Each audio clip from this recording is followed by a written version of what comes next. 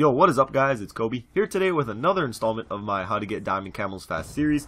If you missed my first two, definitely go check those out. I went over the assault rifles and the submachine guns. But in today's video, we're going to be looking at the shotguns. And I may have said this in you know a previous video, but I actually really like the shotguns in this game because each one is just so different from the next. Now, there are obviously a couple shotguns that are you know, kind of obviously better and more powerful, but regardless, they are pretty fun to use, so, you know, why not get them diamond? And that's what this video is about, just getting some small tips that will help you get the diamond camos as fast as possible. But before I get into each weapon individually, let me start by saying in both my last two videos, I reiterated how you should always use the highest level unlocked weapon, that way you won't ever go without having a weapon to work on and complete challenges for.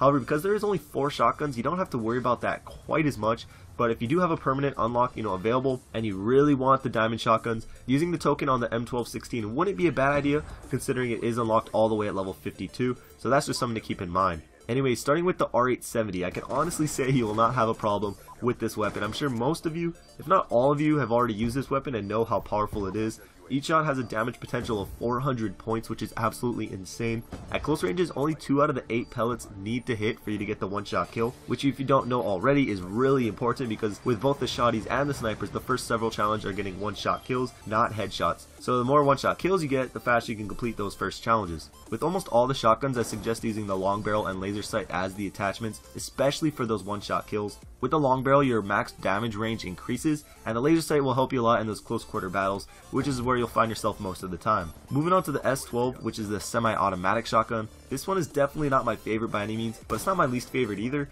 The shotgun is pretty good, but when you're going for specific camo challenges, which is what this video is about, the weapon can sometimes annoy me, but regardless, I find long barrel and laser sight the best two attachments for this weapon as well. Getting one-shot kills with this weapon isn't too bad, but one suggestion would be actually to aim down the sights. A lot of people just try to hip fire just because it's a shotgun. It shoots 8 pellets, and that's just what we're accustomed to, but unless you're really, really close to your opponent, aiming in will help you get way more one-shot kills, especially once you hit that medium range area. However, once you finish the one-shot kill challenge, just spray like a madman. Really take advantage of its semi-auto abilities, because when you're not having to get one-shot kills, it's actually a pretty good weapon. Now the KSG. This is definitely my favorite shotgun. A lot of people like to call it overpowered, but the fact is you get one shot, and if you miss that shot, you're probably going to get killed unless your opponents just are terrible, but the accuracy on this thing is ridiculous. If you aim at a wall and keep shooting, each slug will hit the exact same spot. So when using it in the game, if you have a good shot, you can do very, very well with it. Now for attachments, this is the one shotgun that I like to use. Three, the long barrel and laser sight of course, and the red dot. Now the red dot is completely personal preference. If you like the iron sights, use them, you know, you get two extra points to put towards something else, but me personally, I don't like them, so I use the red dot. With long barrel on this thing, your one shot kill range is incredible. It feels like a medium range encounters are one shot kills as well, and that helps you a ton. Not being limited to close range fights like a normal shotgun, you're a lot freer to move around the map, you know, wherever you please. As for laser sight on this thing, I shot at a wall, and the slug goes directly down the center of your crosshairs, which is also crazy, but there are two things that you should not do while using this gun. The first one is change position while or even right before you shoot, whether that's drop shotting or even a lot of people tend to crouch right when they shoot, but for some reason it makes your slug go in some random direction and you're left wondering why it didn't hit.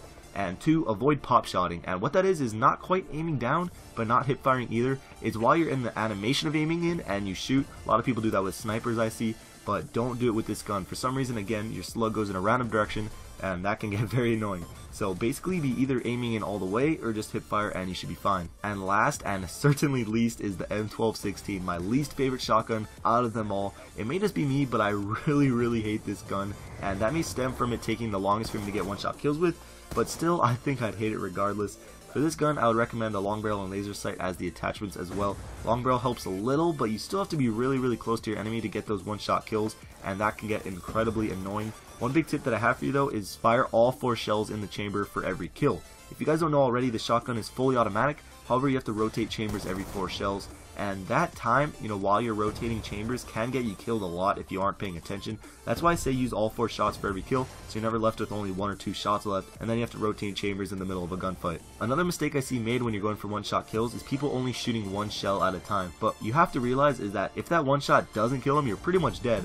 You know, might as well use all four shots, so even if the first shot doesn't kill him, the other three will too, and you may get the kill. You won't get the one shot, you know, but it is better than dying. Other than that, to get one shots, you really have to rush and catch people off guard and sneak up behind them, or you have to camp doorways, which may sound really lame, but you have to get 250 one-shot kills with this thing, and by the end of it, you'll probably do whatever it takes. So that's all the tips I have for you guys, so go out there and go get those diamond shotguns. You know, why not? If you're getting bored of the game, it will give you something to do, and they look pretty cool, so I don't see why you shouldn't. So I hope you guys enjoyed the video. If you did and want to support it, support the channel. All ratings are appreciated. If you have the diamond camos or even close to them, let me know down below, as well as any other tips you might want to share with anyone else. Not too many people had the assault rifles or SMGs in those last two videos, so you know, you'd definitely be in a small percentage if you do have them. But regardless, thank you for watching the video. Last two videos on screen if you missed them, and I'll catch you guys later. Peace.